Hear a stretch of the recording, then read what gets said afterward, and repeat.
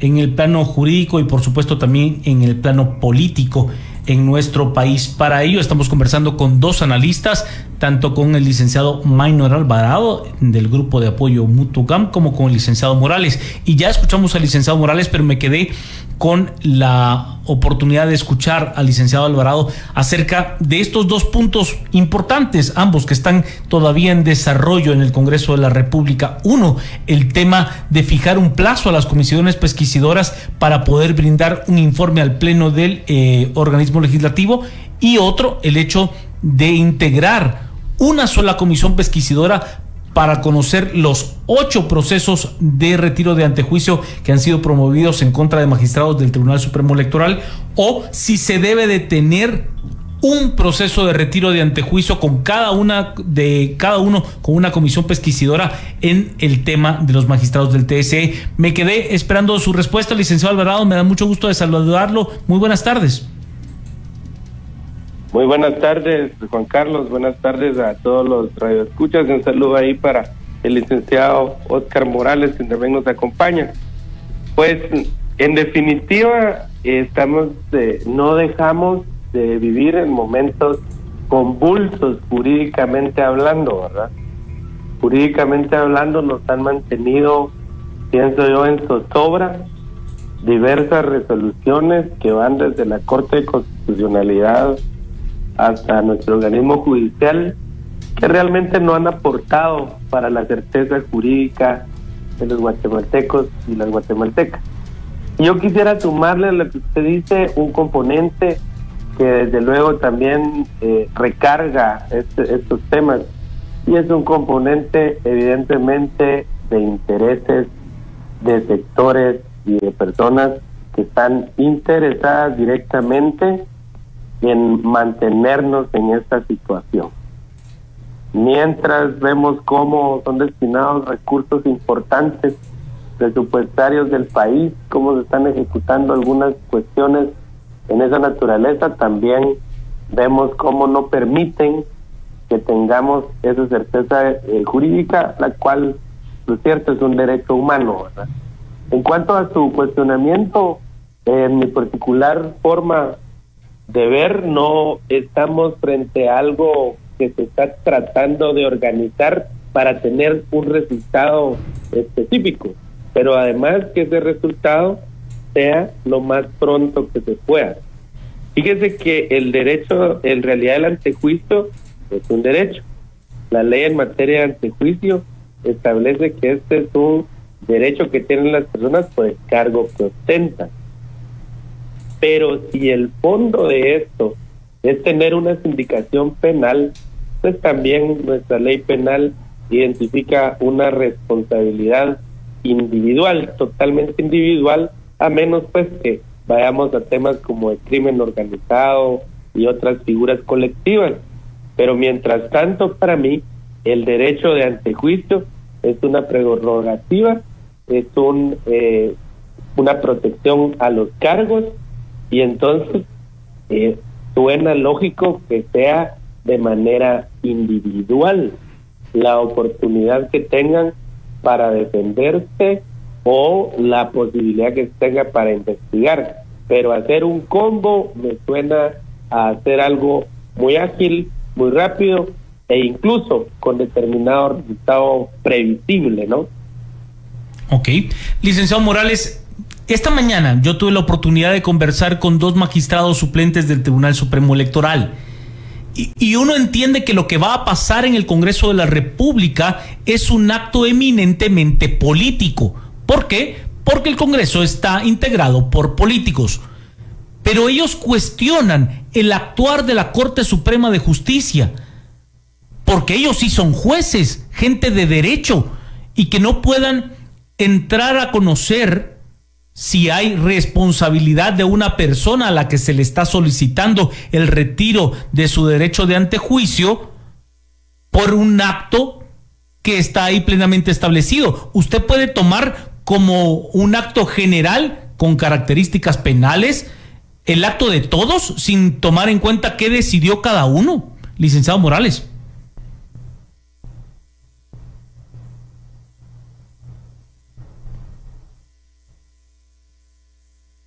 No sé si me escucha, licenciado Morales, perdóneme. Sí. ¿Me, escuchó mi pregunta, licenciado? Sí, la escuché. lo escucho, licenciado, perdóneme. Ok, bye. Mire, le decía que efectivamente la responsabilidad penal es individual. Eso es muy importante. Eso es determinante en la naturaleza de lo que estamos hablando. También ya lo decía el licenciado eh, eh, Minor, efectivamente, el proceso ante juicio lo que protege es la figura del puesto público que está ocupando la persona para que no la administración pública pues no quede acéfala. Bueno, la Corte de la Corte Suprema de Justicia al conocer la solicitud de antejuicio debe hacer una evaluación previa para determinar si no es espurio si no hay acciones políticas enmarcadas dentro de esa petición para continuar con el trámite, que es también lo que tiene que hacer el Congreso ahora. Evidentemente hay una evasión de responsabilidad muy ligera y ese traslado al expediente hacia el Congreso pues lo está manifestando. Efectivamente, aquí más que una, se está utilizando otra vez un instrumento jurídico para darle vida a una acción de carácter político. Lo que quieren finalmente es quitar el, ante, el, derecho de antejuicio a los magistrados, al que esté presidente de la República. Y bueno, para citar un ejemplo, ya vimos hoy en la mañana, creo yo que fue en la mañana, hace unos momentos, donde la presidenta de la comisión que está viendo el proceso, eh, la comisión que preside, la comisión pesquisidora del vicepresidente, prácticamente le dieron un golpe de Estado a los demás y que ella lo puso en conocimiento del Pleno del Congreso para que el Congreso mañana, incluso ya están citados, conocer ese asunto de fondo. Es decir, el Congreso puede ser y es un órgano político, pero debe y se está sometido a la constitución política de la República y demás leyes del país. Es decir, que sea político y que tenga una, una maniobra o un espacio de maniobras para hacer las actividades que hace, pero eso no significa, bajo ningún punto de vista, que no respeten la Constitución, los debidos procesos y la ley. Por lo tanto, esa, esa, esa, rapidez, esa premura que tienen para estar haciendo estas actuaciones, yo vuelvo a reiterar, son primeramente ilegales, segundas son huizachadas que están inventando y evadiendo responsabilidades desde su punto de vista. Sin embargo, si existiera un ministerio público coherente, ya las acciones que se han llevado a cabo, incluso hoy, en, en el día de hoy, ya debieran ser sujetos de una investigación y una persecución de carácter penal. Pero licenciado Morales, estamos hablando de magistrados, magistrados, o sea, no estamos hablando de una persona que no conoce de derecho. Vamos, no estamos hablando de que Juan Carlos Sandoval toma una decisión. Magistrados de Corte Suprema de Justicia y no hacen una diferencia entre quien votó a favor y quien votó en contra. Sí, claro, es lo que le decía. Digamos, ese es el peor pecado que hay digamos, las instituciones que están llamadas a proteger los derechos, a proteger y a responder a la Constitución de la República, porque hicieron un juramento y a resguardar los derechos constitucionales y humanos de cada persona, son los primeros en evadir esa responsabilidad al emitir este tipo de resoluciones, resoluciones que están haciendo. Esto es grave, gravísimo, porque entonces lo que tenemos es que no tenemos autoridades, es decir, físicamente están ahí, pero no responden a la ley, que es su deber, no están actuando y acatando el orden constitucional, legal y dando legalidad a la sociedad. Estamos en una situación muy delicada, es un caos esto realmente. Aquí se está, se está haciendo, se está amañando cualquier actividad eh, legal por a través de, de, asuntos o intereses políticos. Esto es lo gravísimo. Un magistrado, lo mínimo que tienen son doctorados o maestrías lo mínimo, por decirle algo, pero en este momento que se debe de ver ese conocimiento, la aplicación de la filosofía del derecho, la sustentación de resoluciones, lo que vemos son simples acciones evasivas de no interés. Y eso es grave. Eso es lo que nos pone en una perspectiva tan grave como el informe que acaba de rendir también la, la, la, la, Organización de Estados Americanos. Sí, la Organización de Estados Americanos. Si usted lee ese documento, de verdad uno se pone chino en la piel, es grave. Hablan del Estado de Derecho, del sistema proceso electoral, de las garantías que se violaron. Mire, ese documento da para hablar 40, 40, no sé cuántas veces. Es enormemente, es una vergüenza para Guatemala que ese informe diga lo que está ocurriendo en el país. Bueno, pues este es un hecho, este hecho es particularmente una exposición de eso que está en ese resumen. Licenciado Alvarado, cuando entendemos lo que está sucediendo en el Congreso de la República y entendemos el actuar de la Corte Suprema de Justicia? ¿Cómo podemos entender que la figura institucional que nos marca el camino legal de las cosas tiene tal grado de laxitud. E, es que parece, parece no tener sentido, licenciado Alvarado, con todo respeto. Sí, ¿sabe qué es lo que sucede? En Guatemala no tenemos un problema de leyes. Si uno revisa las leyes, podemos ir a la ley electoral y de partidos políticos con rango constitucional, podemos ir a nuestra propia constitución política de la República de Guatemala y así las leyes involucradas. El problema no es de las leyes, eh, las leyes eh, están diseñadas para su cumplimiento, pero estamos atravesando el no tiempo del derecho, digo, el no tiempo del derecho. Eh, bien lo decía el, colega Morales, la institucionalidad ahí está. Tenemos las instituciones, tenemos el andamiaje jurídico, pero el, el problema acá de fondo, y sin darle tantas vueltas al asunto, es que los sectores interesados que han tenido cooptado el Estado, yo diría que es un secuestro del Estado de Guatemala, de sus instituciones. Entonces, ¿qué garantías vamos a tener de aplicar la ley? Nos hemos dado cuenta de que en línea, en línea, para donde usted vea, están actuando de forma tal de perseguir un objetivo. Y ese objetivo es y respetar la constitución y respetar la democracia y respetar la soberanía que radica en el pueblo. Y entonces yo denomino esto como un no tiempo del derecho, porque está secuestrada la justicia en Guatemala. Estuvimos y frente a eso hemos tenido que accionar ante organismos internacionales. Recientemente tuvimos una reunión en Washington con la secretaria ejecutiva de la Comisión Interamericana y con el relator para la libre expresión, porque no hemos terminado la crisis, seguimos en un momento donde se hace necesario acudir a mecanismos internacionales, porque en lo nacional la justicia parece ser estar secuestrada. Licenciado Morales, cuando entendemos lo que también está ocurriendo a nivel internacional, cuando se hace un informe por parte de la misión de observación de la Unión Europea y alaba el sistema electoral guatemalteco, la forma en la que el ciudadano se involucra y tomamos como base lo que plantea el licenciado Alvarado, que lo marca la constitución política de la República de Guatemala, de que el soberano, aquellos que tanto hablan de la soberanía, que tanto promulgan que hay injerencia que y que la soberanía radica en el pueblo. ¿Cómo podemos entender lo que estamos viviendo en este proceso, no le digo de transición ni postelectoral, sino en este tiempo convulso de los últimos 8 o 10 meses en Guatemala? Mire, aquí lo que hay que poner en claro es que hay evidentemente un irrespeto total al marco legal desde la Constitución hacia lo ordinario y también en materia internacional. Simplemente han decidido algunos políticos no respetar, y creo incluir también a los jueces, han, decidido muchas instituciones y sus, los jueces, los políticos, y respetar el marco constitucional. Y si usted no respeta el marco constitucional y no respeta el marco ordinario y no asume las responsabilidades de funcionario que tiene cada uno de los puestos, simplemente estamos no solo ante un país que tiene cooptado todo el sistema de, institucional, sino que además ahora ha desconocido de manera abrupta, arbitraria, abusiva todo el marco legal. Y ante eso la sociedad tiene razón de estar en las calles. Es la única opción que le queda, porque no tenemos un Estado de Derecho. No tenemos a dónde ocurrir y decir, mire, esto hizo tal diputado, tal magistrado, tal persona, y qué debemos de hacer para recuperar la legalidad de ese acto ilegal. No tenemos a dónde ocurrir.